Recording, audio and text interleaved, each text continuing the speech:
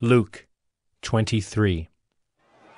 Then the whole company of them arose and brought him before Pilate, and they began to accuse him, saying, We found this man misleading our nation and, and forbidding us to give tribute to Caesar, and saying that he himself is Christ, a king. And Pilate asked him, Are you the king of the Jews? And he answered him, You have said so. Then Pilate said to the chief priests and the crowds, I find no guilt in this man. But they were urgent, saying, He stirs up the people, teaching throughout all Judea from Galilee even to this place. When Pilate heard this, he asked whether the man was a Galilean. And when he learned that he belonged to Herod's jurisdiction, he sent him over to Herod, who was himself in Jerusalem at that time. When Herod saw Jesus, he was very glad, for he had long desired to see him, because he had heard about him, and he was hoping to see some sign done by him. So he questioned him at some length, but he made no answer. The chief priests and the scribes stood by vehemently accusing him. And Herod with his soldiers treated him with contempt and mocked him. Then, arraying him in splendid clothing, he sent him back to Pilate. And Herod and Pilate became friends with each other that very day, for before this they had been at enmity with each other. Pilate then called together the chief priests and the rulers and the people, and said to them, You brought me this man as one who was misleading the people. And after examining him before you, behold, I did not find this man guilty of any of your charges against him. Neither did Herod, for he sent him back to us. Look, nothing deserving death has been done by him. I will therefore punish and release him. But they all cried out together, Away with this man, and release to us Barabbas! A man who had been thrown into prison for an insurrection started in the city and for murder. Pilate addressed them once more, desiring to release Jesus, but they kept shouting, Crucify! Crucify him! A third time he said to them, Why? What evil has he done? I have found in him no guilt deserving death. I will therefore punish and release him. But they were urgent, demanding with loud cries that he should be crucified, and their voices prevailed. So Pilate decided that their demand should be granted. He released the man who had been thrown into prison for insurrection and murder, for whom they asked. But he delivered Jesus over to their will. And as they led him away, they seized one Simon of Cyrene, who was coming in from the country, and laid on him the cross to carry it behind Jesus. And there followed him a great multitude of the people and of women who were mourning and lamenting for him. But turning to them, Jesus said, Daughters of Jerusalem, do not weep for me, but weep for yourselves and for your children. For behold, the days are coming when they will say, Blessed are the barren, and the wombs that never bore, and the breasts that never nursed.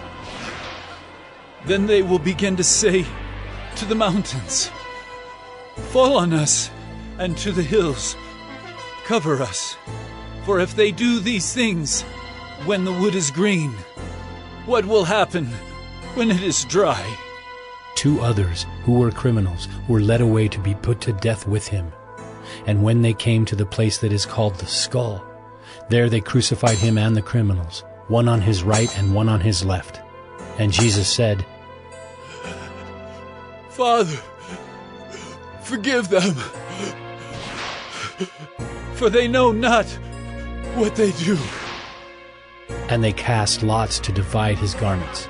And the people stood by watching, but the ruler scoffed at him, saying, He saved others. Let him save himself, if he is the Christ of God, his chosen one. The soldiers also mocked him, coming up and offering him sour wine, and saying, If you are the king of the Jews, save yourself!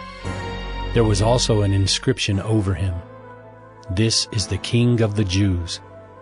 One of the criminals who were hanged railed at him, saying, Are you not the Christ? Save yourself and us. But the other rebuked him, saying, Do not fear God?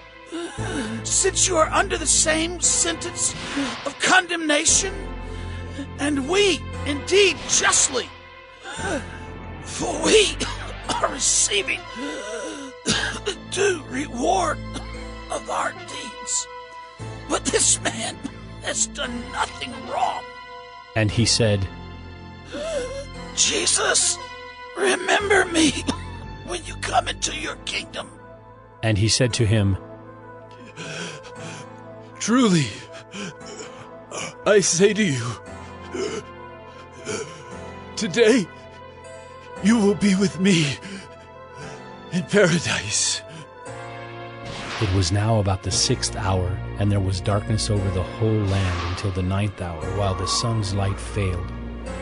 And the curtain of the temple was torn in two. Then Jesus, calling out with a loud voice, said, Father, into your hands I commit my. And having said this, he breathed his last. Now, when the centurion saw what had taken place, he praised God, saying, Certainly, this man was innocent. And all the crowds that had assembled for this spectacle, when they saw what had taken place, returned home beating their breasts. And all his acquaintances and the women who had followed him from Galilee stood at a distance watching these things. Now there was a man named Joseph from the Jewish town of Arimathea. He was a member of the council, a good and righteous man who had not consented to their decision and action, and he was looking for the kingdom of God.